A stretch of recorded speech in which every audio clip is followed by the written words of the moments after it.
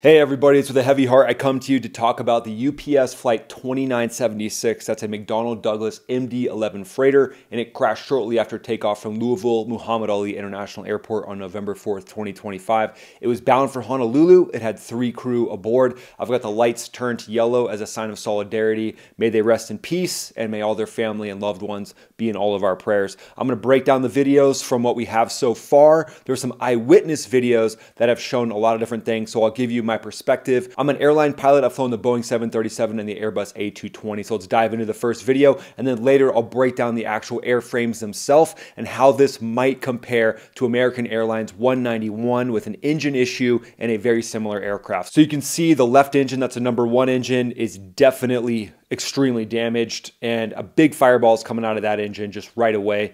And then what I see are sparks on the number two engine and those sparks are kind of in the back of the aircraft, and that's where the number two engine is on the MD-11 freighter.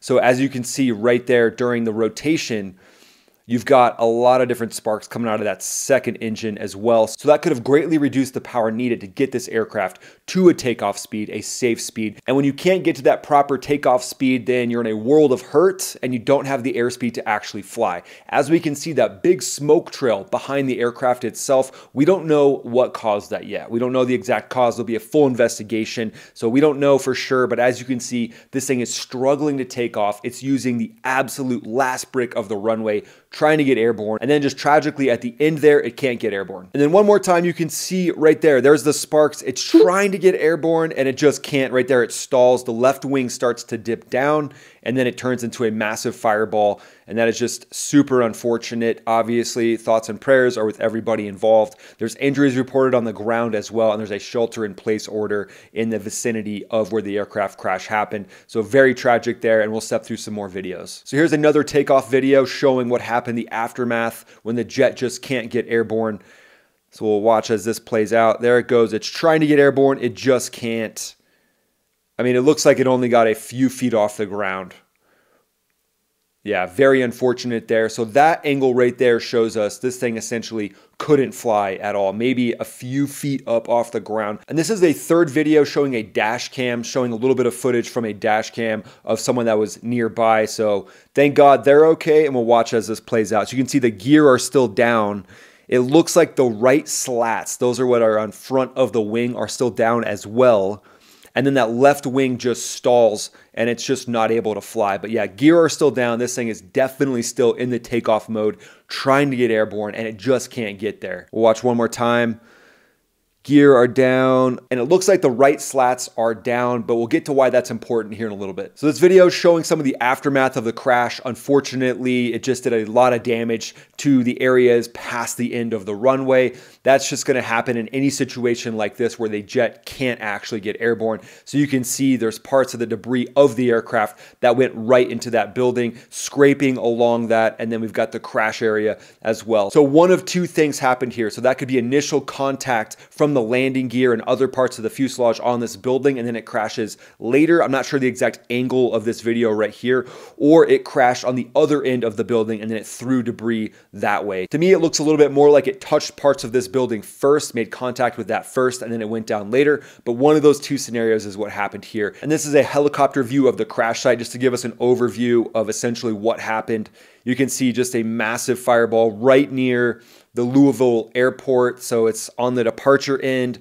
That's just a very unfortunate scene for that to have happened. And you can see how big of a deal that is for a jet to crash with that much fuel on board, likely hundreds of thousands of pounds of fuel on board, and we'll get more into that here in a second in the video. And in that post-crash fire, it is reported that there's more than 200,000 pounds of fuel that ignited, and that's about how much that jet's gonna carry, making its way all the way to Hawaii. But now we'll talk a little bit more about the specs of these jets, and we'll compare it a little bit to that 1979 American Airlines Flight 191, which was a DC-10, very similar aircraft, and that involved an engine separation. And again, a lot of this is just information that I'm giving you from my experience of being an airline pilot, and there'll be a full investigation. So I'll keep you posted as that develops. This UPS aircraft was an MD 11 freighter, and it was built in 1991. It was converted to a cargo freighter in 2006. This is a wide body jet. That's the nomenclature that airline pilots use for these. It's got a 169 foot wingspan, and the length of the actual jet itself is about 200 feet. It's reinforced though, so it can carry 200,000 pounds of payload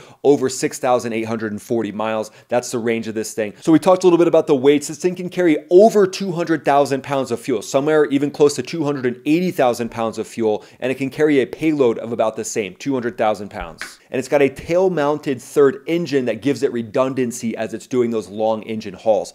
The power comes from three GE CF6 80C2 turbofans. Each of those produces 61,500 pounds of thrust. Likely you're looking at about 160 mile per hour takeoff speed and then about a 2,000 foot per minute climb. So the MD-11 in this crash evolved from the DC-10 and it has a stretched fuselage, it has advanced glass cockpit displays, and it has improved winglets for efficiency. UPS uses these for heavy global freight transport around the world. So the three crew team on this was likely comprised of a captain, a first officer, and a loadmaster. So they taxied to runway 17 right for a standard southbound departure. The acceleration looked normal up until liftoff when we saw what happened with that left engine, that number one engine potentially even separating from the aircraft. And this image is just coming in. I want to share it with you. It's not a confirmed image, but if this is the case, if this is on the airfield, that would mean an entire engine separation from the number one engine. And when you think of the the MD-11. So the number one engine is going to be on the left-hand side, the captain side. The number two is going to be on the tail, the next one to the right. And then the number three engine is going to be on the far right side. That's the first officer side. So if this image is confirmed, you can see clearly that it's separated from the aircraft itself, which is just insane.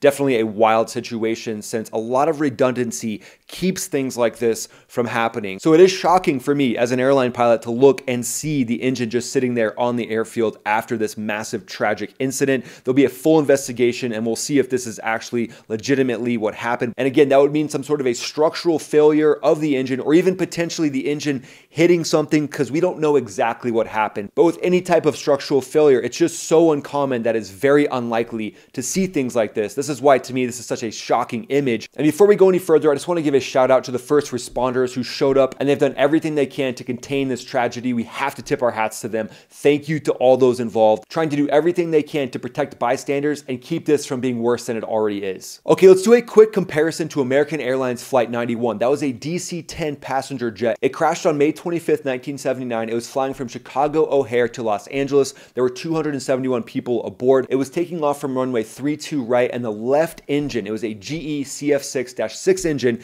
and the pylon itself separated. And that severed hydraulic lines that controlled the left wing's leading edge slats, those slats that we talked about earlier, the aircraft climbed to about 325 feet above the ground while trailing a white mist of fuel and hydraulic fluid from the left engine where it had separated. The first officer followed the flight director raised the nose to 14 degrees, which reduced airspeed from 165 knots to the takeoff safety speed, which is V2. That's the speed that you try to get to if you have an engine issue on takeoff. V1 is the speed at which you must abort and be able to stay on the runway. After V1 with an engine failure, you have to continue. So we don't know exactly what happened in the cockpit. Again, that will all be released, but it looks like that engine was struggling. We don't know exactly where it happened. But back to Flight 191 and that V2 speed, they were going for that speed because that's the speed that they could safely climb after losing one engine. But with the hydraulic lines cut from that engine ripping off of the jet, the outboard slats on the left wing, they retracted under the aerodynamic load of the airflow. And that raised the stall speed of the left wing to about 159 knots, and that's six knots above the V2 of 153 knots. So as a result of that, they were too slow to keep flying, and the left wing entered a full aerodynamic stall, rolling until it was partially inverted at a 112 degree bank with the right wing over the left left, and then it impacted the ground 4,600 feet past the runway about 31 seconds after it took off. All aboard perished in that one as well, plus two people on the ground. So before we compare the actual accident, let's compare the jets themselves. So DC-10 versus MD-11. So the DC-10, it entered service in 1972, had a 180-foot wingspan, it had an analog cockpit, very old. It had older engines as well. And then the MD-11 followed in 1990, and it was stretched out. It was a little bit longer, 200 feet long,